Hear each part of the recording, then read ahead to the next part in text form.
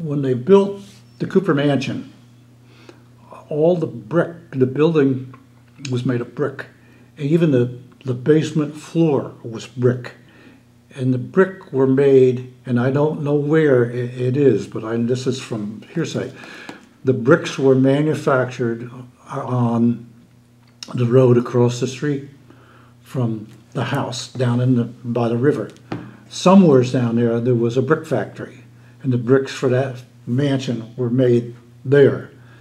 The mansion itself was very unique because I put plumbing in it for the first time. And it starts out at one depth in the basement, and when it gets to the first floor, it goes bigger on the floor. The wall gets thinner. It starts at 18 inches, goes to 12 inches, then it goes to 8 inches, then it goes to 6 inches. And so when you were doing anything, you had to be cautious of where you were going because you might miss it by three or four inches. And when I put the bathroom in, the, the people that by the name of Pinckney had purchased the thing and lived there, and they insisted that uh, it was all ornate moldings around that were all there, and all the baseboards were multi built up molding thing that I couldn't destroy those. You try putting a bathroom in a house without taking the walls down.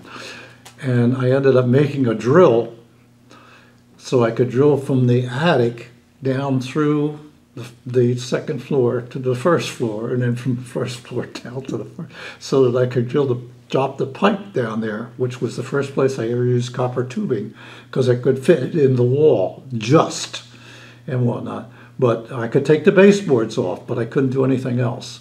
The baseboards were made out of five different pieces of molding, all laminated together, that made a baseboard about almost a foot high.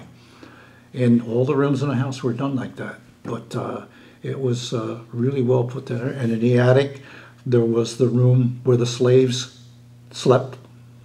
But the attic was all finished off too and whatnot. But uh, and they had a slave entrance that they could get down to the back, and then the main corridor to get from room to room and whatnot. Very interesting house. I don't know what it's like now, but it was at one point it was quite.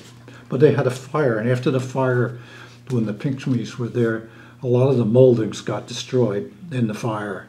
But they redid it and whatnot. But they didn't put the moldings back because they were all real. And then they had the like in the centers, they were the circulars and whatnot. Beautiful, really.